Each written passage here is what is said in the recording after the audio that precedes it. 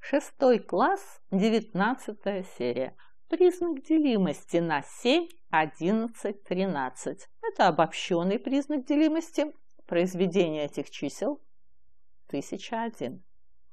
Так, разбиваем число на тройки.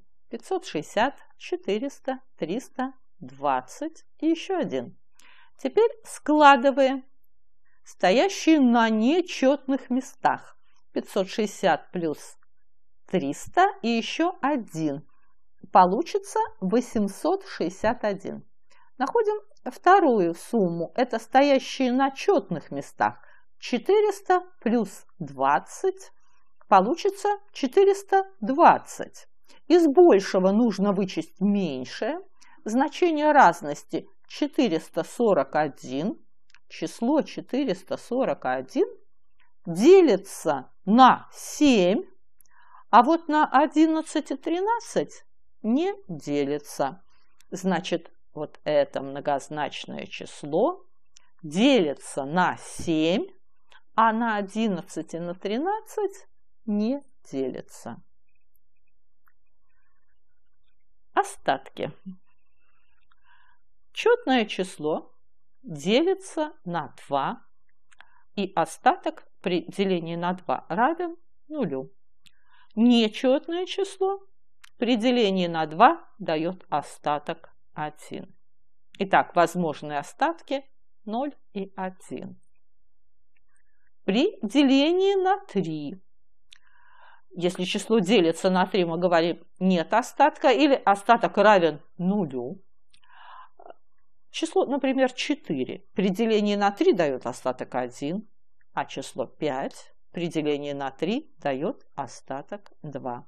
Итак, при делении на 3 возможные остатки 0, 1 или 2. Вот это возможные остатки при делении на 3. Первая задача. Найдите восьмую часть от удвоенной трети числа 24. Давайте начнем с того, что мы сначала найдем треть от числа 24. Это 8. Теперь давайте найдем удвоенную треть. Надо взять два раза по 8, получится 16. А теперь осталось найти восьмую часть от 16. Мы 16 делим на 8 и получаем 2. Ответ 2 в этой задаче. Вторая задача. Длину каждой стороны квадрата увеличили на 10%. На сколько процентов увеличилась площадь квадрата? Допустим, сначала сторона квадрата была А. Там, сантиметров или метров, неважно, А. Площадь такого квадрата равна А в квадрате. Так, теперь сторона квадрата стала больше на 10%. Это значит А прибавить одну десятую от А, это будет одна целая и одна десятая А. Одна целая и одна десятая А. Какова площадь этого квадрата? Так, это у нас первая была площадь, ну, а это, например, площадь вторая.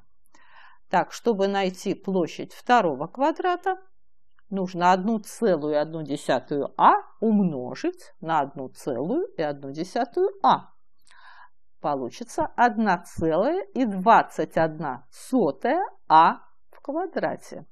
Итак, площадь квадрата возросла на 21%. Третья задача. Сколько раз надо отнять одновременно от числа 400 по 20, а от числа 200 по 10, чтобы получились равные остатки? Давайте а вопрос задачи обозначим за x. x раз надо отнять. Итак, отнимаем по 20, а здесь отнимаем по 10. Теперь осталось решить это уравнение, чтобы найти x и ответить на вопрос задачи. Давайте прибавим э, к обеим частям равенства по 10х.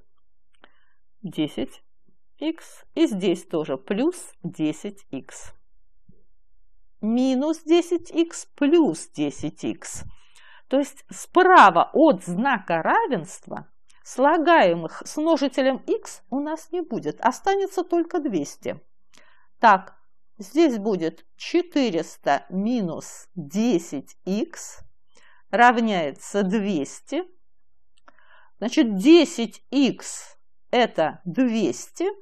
А чтобы найти x, надо 200 разделить на 10. Итак, x равен 20. Ответ 20.